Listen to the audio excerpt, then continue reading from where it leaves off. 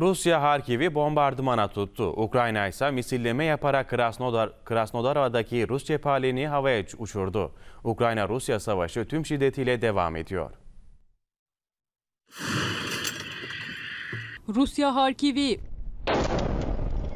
Ukrayna Krasnodar'ı hedef aldı.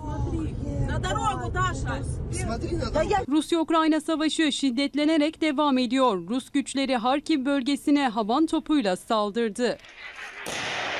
Saldırı anı seyir halindeki otomobilin kamerasına yansıdı. Bombardımanda iki sivil hayatını kaybetti. Ukrayna bu saldırıya Krasnodar'ı hedef alarak yanıt verdi. İHA'lar Rus üssünü vurdu, cephanelik havaya uçtu. O anlarda da kameralar kayıttaydı.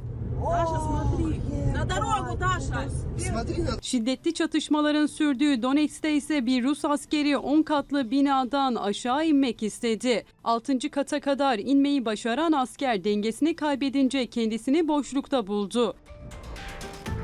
Yere düşen asker hayatını kaybetti.